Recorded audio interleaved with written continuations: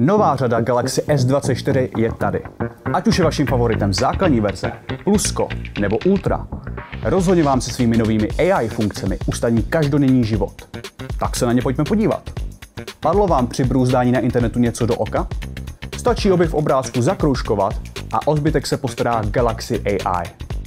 Stejně to i funguje pro psaný text, ať už chcete vyhledat komentář pod videem, citaci nebo libovolnou část psaného textu. Řešit běžné věci po telefonu dokáže být v zahraničí někdy oříšek.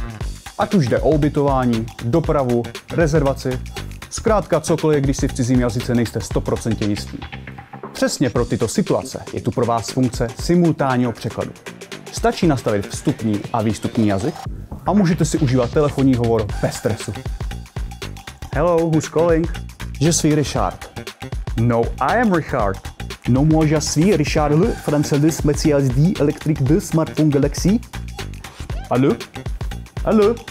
Znalost jazyku nám otevírá nejen svět, ale úplnou svobodu při navazování nových vztahů.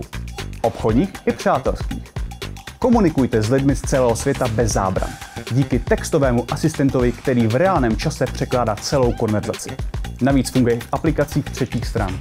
Poznámky ze schůzky, konference nebo přednášky dokážou být občas chaotické.